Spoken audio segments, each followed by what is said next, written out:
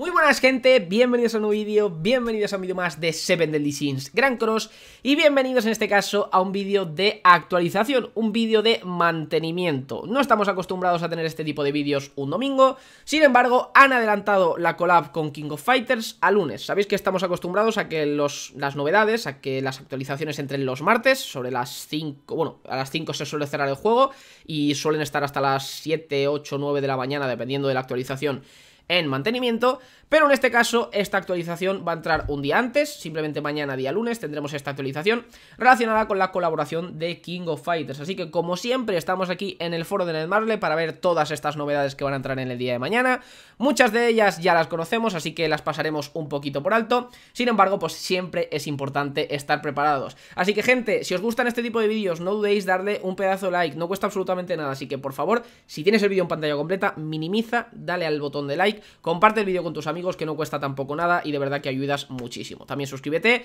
para más contenido diario de Seven Deadly Grand Cross. Así que gente, aquí tenemos todos los apartados de la collab, tenemos aquí el típico panel principal en el cual nos recogen un poquito las cositas más importantes. Aquí nos ponen, eh, por ejemplo, el Hawk Pass, que dicen, bueno, gastaos un poquito de dinero. Así que vamos a ir poquito a poco, yendo para abajo y viendo las cositas nuevas que van a entrar en esta actualización. Obviamente, los cuatro nuevos héroes relacionados con la colaboración, Kyo, Omega Rugal, Mai y Atena. Sinceramente, el personaje que más me interesa es Atena y creo que es el menos importante o el menos bueno o la peor. Me da igual, es preciosa, el diseño es precioso, el splash art es precioso y la quiero. No significa que no quiera el resto, pero yo con sacar a Atena seré feliz. Mi intención y vuestra intención debería ser no volveros locos. Se vienen cosas muy interesantes y más teniendo en cuenta lo que veremos un poquito más abajo y lo que veremos en un vídeo que tendréis también el día de hoy. Así que estad atentos al canal porque imagino que este vídeo lo habré subido a las 4. Así que sobre las 6 tendréis otro vídeo bastante importante en el cual teorizaremos un poquito. Así que id echándole un ojo. Por otro lado, eh, será el típico banner que tendremos un, eh, un banner partido en dos. A las 300 diamantes tendremos un personaje SSR garantizado y a los 600 diamantes tendremos un personaje de la colaboración a elegir por nosotros el que nosotros queramos, ¿no? Si tú a ti, por ejemplo, te ha salido Kyo y te ha salido Mai y te gusta Omega Rugal, pues te coges Omega Rugal y, bueno, al fin y al cabo, eliges tú al personaje que a ti te guste. Por otro lado, como estaréis viendo por ahí, eh, nos pone que Gouther también va a estar en este banner. Sinceramente, esto entre que me da igual y que me molesta. Me da igual porque no deja de ser un personaje nuevo y me gustaría sacarlo, la verdad, eh, más teniendo en cuenta que, según ha dicho muchas personas, no está del todo mal, así que obviamente me gustaría conseguirlo. Sin embargo, me parece bastante feo, eh, uno, que no lo hayan metido en su banner de Halloween, porque es un personaje de Halloween y ya hemos tenido banners de Halloween, yo creo que no costaba absolutamente nada metértelo en este banner. Sin embargo, pues bueno, son así de, de especialitos, son así de especiales y han decidido ponerlo en otro banner para que supongo que tengas más ganas de tirar en el caso de que sea un personaje tan decente como, como tengo entendido. De nuevo, no sé hasta qué punto es muy bueno, pero sin embargo, pues bueno, te hacen ya tirar te hacen tener otra razón por la que tirar a este tipo de banners. Así que nada, mi, más sincera recomendación es que si tiráis, que no sea por Gouther, que sea por los personajes de la collab. Por mucho que Gouther sea bueno, Gouther volverá, mientras que los personajes de la collab, a priori, según estamos ya acostumbrados, tanto con la collab de, del Slime como con la collab de Shingeki, a priori no volverán nunca más. Yo creo que en algún momento sí que aparecerán, pero pues, tenéis que jugar con conciencia de que seguramente no lo hagan. Así que nada, simplemente yo me molesta por el hecho de que ensuciara un poco la pool, al igual que pasó en el banner de Halloween, pues imagino que los personajes de la collab tendrán un 0,5 de rate up y que el personaje, el Gouther este, tendrá un 0,3. Pues bueno, me gustaría que no estuviese Gouther, así habría un SSR menos y tendríamos a priori eh, una probabilidad mayor de conseguir a estos personajes antes que, a un Gouther, a pesar de que, no pueda ser del todo malo. Pero bueno, estos serían los personajes que aparecen, Kyo, Mai, eh, Atena y, Omega, tampoco vamos a hablar muchísimo sobre esto, y vamos a pasar directamente con el resto de la información, que sería el evento de los torneos, un evento PvE, en el cual tendremos que hacer equipos por categorías, al menos creo que este, es el, este es el evento al que se refiere este panel. Eventos por categorías y simplemente eh, al pasarnos el evento, pues podremos conseguir diamantes, colgantes de evolución, eh, los típicos cofres para vender, para conseguir dinero, engraving stones y cositas y más. Eh, muchos recursos que podremos conseguir y que podremos utilizar para el desarrollo de nuestro gameplay. Por otro lado, un nuevo Final Boss, Final Boss Omega Rugal, en el cual pues obviamente tendremos que enfrentarnos a Omega Rugal y en el cual muy seguramente alguno de los personajes de la colaboración, excepto él mismo, sea bastante core para hacer una buena puntuación. Pero bueno, Final Boss, con quedar por encima del 50% ya consigues 35 diamantes, que se agradecen muchísimo. Así que perfecto, a darle caña, a conseguir la máxima puntuación posible, intentar quedar en el ranking lo más alto posible y ya estaría, tampoco le demos muchísimas vueltas. Por otro lado, nuevo Hawk Pass, en el cual podremos conseguir una skin de, de Mai Shiranui, que sinceramente es una preciosidad. No es el personaje que más quiero, ya os lo he dicho, yo quiero Atena, pero también me gustaría sacarla porque el Hawk Pass me lo voy a comprar, entonces, pues bueno, conseguir una skin y no tener al personaje sería un poco malo.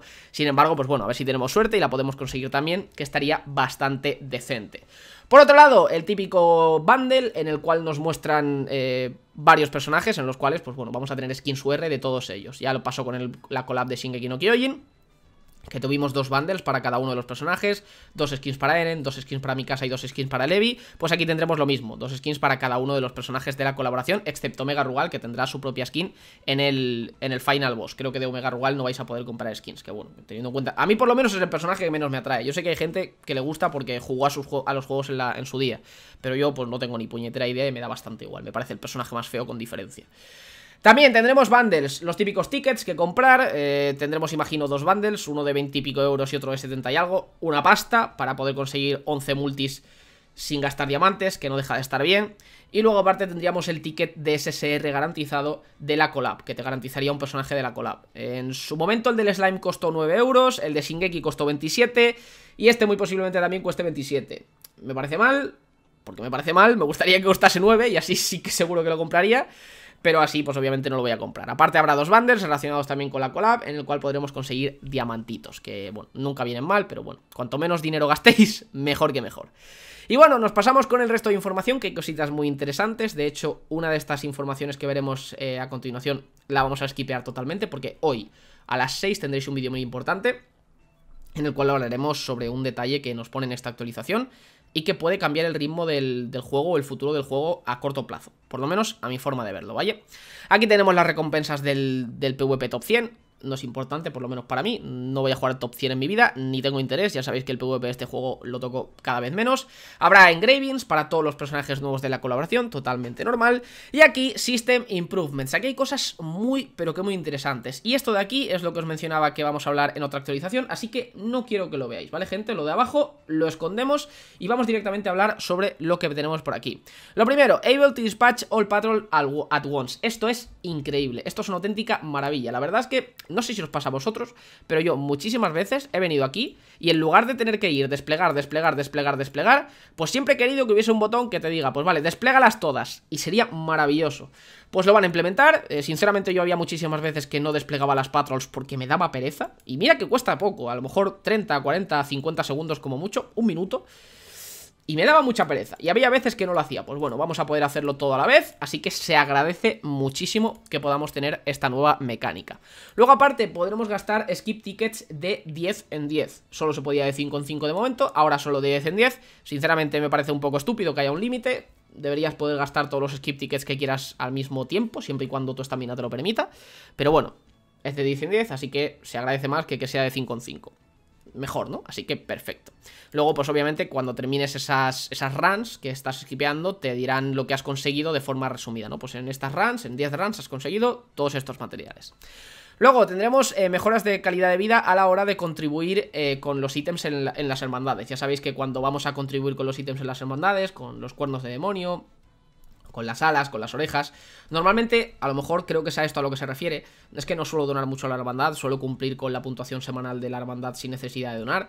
Pero eh, normalmente tú tienes que ir de uno en uno y ahora imagino que te dirá, pues puedes donar eh, puedes seleccionar la cantidad y donar directamente, o a lo mejor, pues bueno, si te pasas por lo que sea, en lugar de resetear, puedes bajar o puedes seleccionar una cantidad diferente. Así que todo lo que sea mejoras de calidad de vida está bien, así que perfecto. Luego habrá eh, un filtro de tipo en los equipamientos, esto realmente no sé a qué se refiere, así que mañana cuando lo, lo introduzcan saldremos de dudas. Pero realmente no, no, os voy a mentir, no sé exactamente a lo que se refiere este punto. Luego el típico botoncito de Recommend Friends, ya sabéis que cuando estamos acostumbrados a jugar en, en, en PvE, o no, a jugar al fin y al cabo, eh, justo abajo nos aparecen los amigos que tenemos agregados. Por norma general, yo no suelo tocarlo, pero vamos a tener un botoncito que sea para refrescar a esos amigos sin necesidad de usarlos o sin necesidad de, salir y volver a entrar de la stage, lo cual está, pues bueno, eh, bastante bien, sinceramente no es algo que vaya a aprovechar mucho, al menos no creo, así que bueno, eh, supongo que a algunas personas sí que le vendrá bien, con lo cual, perfecto. Luego, por otro lado, en las tiendas, eh, que esto aquí pone pop-up shop, sinceramente no sé hasta qué punto se refiere a pop-up shop, porque que yo sepa, las pop-up shops son las tiendas itinerantes, o esos, por lo menos, lo que yo recordaba. Eh, tampoco me he puesto a hablar mucho de esto en, inglés, así que no lo sé. En las pop-up shop eh, vamos a poder comprar materiales de Awaken. En lugar de 5 vamos a poder comprar 20. Si a esto se refiere a las tiendas normales de las, eh, de las aldeas, se agradece bastante. Personalmente me da bastante rabia, tampoco os voy a mentir, porque hace nada subí toda mi box a 6 de 6, entonces pues esto ya no me viene bien. De hecho, me da rabia porque gasté muchas monedas del clan, en... porque en el clan, por ejemplo, en las hermandades, puedes comprar eh, materiales de Awaken de 10 en 10, mientras que las aldeas solo de 5 en 5. Entonces, para rushear, el, el tener todos los personajes 6 de 6 y olvidarme de, de tener que, que farmear más y etcétera, muchas veces compraba del clan. Si esto realmente se refiere a que los ítems de Awaken de las aldeas los puedes comprar de 20 en 20 en lugar de 5 en 5 cada día, pues me da un poco de rabia, pero de nuevo, es algo bueno, así que no me voy a quejar, a muchos de vosotros os vendrá bien. En el caso de que se refiera a las tiendas itinerantes, juraría que en las tiendas itinerantes solo vendían regalos, además de armas, así que pues bueno, no creo que sea eso, así que imagino que se referirá a los de las aldeas. Luego aparte, pues bueno, nos pone que los usuarios bloqueados del... Eh, nos aparecerán en una lista, totalmente absurdo, no, hace ningún tipo de falta. Los invites de batallas de estas em, amistosas aparecerán en, en otro tipo de notificación. También, pues bueno, no sueles aprovecharlo mucho, no es algo que vayas a utilizar mucho, así que tampoco pasa absolutamente nada porque estuviese de otra forma distinta. El draw button will be eh, deactivated if you do not have enough... Ostras, esto es una tontería. O sea, si vas a, por ejemplo, al botón de la tienda y vamos aquí a retirada de equipo, simplemente pone que si no tienes suficiente... Eh, suficiente moneda, como que esto aparecerá desactivado, ¿no? Y ya está, no, no, es importante, no es algo que molestase para nada. Y change the display, esto, esto, es simplemente algo visual, así que no es importante. Por otro lado, esto lo vamos a pasar rápido, no nos interesa y vamos directamente con los bufos. Digo que no nos interesa porque eso de ahí arriba es muy importante y lo hablaremos en otro vídeo. Pero bueno, vamos con los bufos a las cartas. Primero... Bufo a Eren y en sí a los personajes transformables que aparezcan a partir de ahora. Ya sabéis que hay algunos personajes que son transformables, véase Eren y véase Camila. Realmente no hay ningún tipo de personaje más. Camila es un personaje que no ha llegado aún a la versión global. Pero aquí tenemos a Eren que sí, que está en la versión global y por lo tanto este cambio nos afecta. Como sabréis, la, Ultimate de Eren lo que hacía era transformarse en titán y simplemente se volvía inmune a los efectos de, pérdida de, de, de incapacitación al fin y al cabo durante los siguientes 5 turnos. Pues ahora, aparte de la transformación, aparte de volvernos inmunes a ese tipo de efectos y demás, nos vamos a recuperar toda la vida. Entonces ahora es mucho más peligroso que Eren se transforme porque, bueno, normalmente cuando Eren se ha transformado ya ha perdido bastante vida, entonces puedes incluso cargártelo en la forma de titán porque está tocadito, ¿no? Pues ahora vamos a recuperar toda la vida y Eren va a ser muy pero que muy fuerte en su forma de titán. Ahora, pues bueno, eh, puede ser interesante el focusear a Eren porque puede ser peligroso que se llegue a transformar, sin embargo, pues no creo que, realmente se pueda volver, volver, meta por esto. Sin embargo, pues bueno, los personajes que eran de, de transformación, los personajes que se transformaban, necesitaban este tipo de cambio porque una transformación que te consume un turno, por así decir, pues obviamente no, no, puede competir contra cualquier otra ultimate que sí que haga algo realmente efectivo durante un turno, ¿no? Ahora que se pueda curar, por lo menos hace que el personaje pueda pueda plantar cara en los siguientes turnos a pesar del daño que haya recibido en los primeros. Luego tenemos bufo para Elizabeth, ahora en lugar de curar al personaje que... Eh, que menos vida tuviese de nuestro equipo va a curar en área, lo cual está bastante bien, sí que es cierto que va a curar un porcentaje menor, como estáis viendo por aquí, antes curaba un 40, o aquí curaba un 40, y va a pasar a curar un 30 a todos los aliados, un 30% del daño infligido, y aquí eh, también va a curar a todos los aliados, pero en lugar de un 60% en un 40% del daño infligido. Está bien, es algo decente, así que, no sé, eh, lo veo un cambio decente, no sé si este personaje se verá por esto, pero se agradece, y más teniendo en cuenta que la subí al 80 porque yo que sé, creo que la tenía que utilizar para un one shot que nunca grabé, porque no me apetecía jugar con esos personajes. Ahora quizá, pues bueno, pueda probarlo, ¿no? Y también bufo Astarosa, que es un bufo simplemente al daño de estabilidad. Eh, ya está, no, no hay mucho más que mencionar. Luego tenemos también eh, cambios de estadísticas básicas a todos los Gouther. A todos los Gouther les han aumentado las estadísticas básicas un poquito. No es algo tampoco realmente muy relevante, supongo.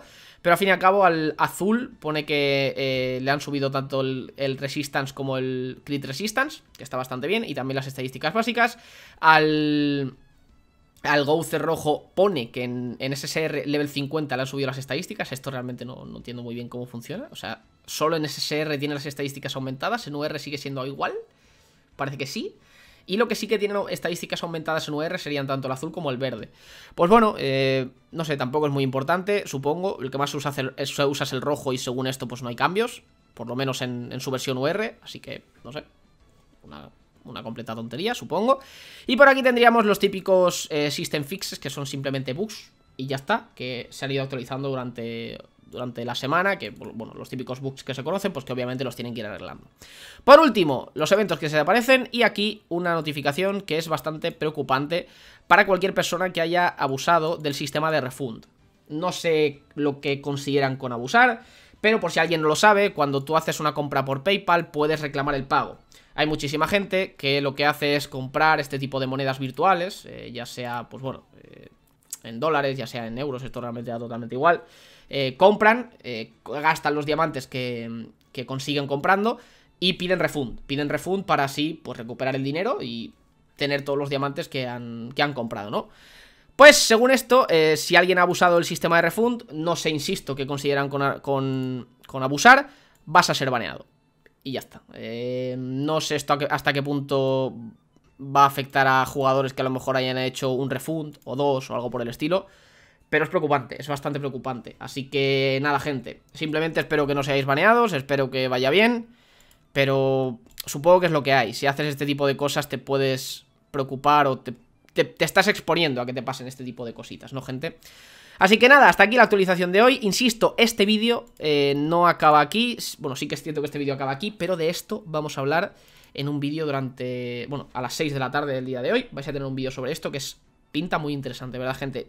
muy, muy, muy interesante. Así que nada más, espero que os haya gustado el vídeo. Como sabéis, eh, no cuesta absolutamente nada compartirlo eh, con vuestros amigos. Eh, dale like, suscríbete al canal para más contenido de Seven Deadly Sins Grand Cross. Y nada más, nos vemos en el próximo vídeo.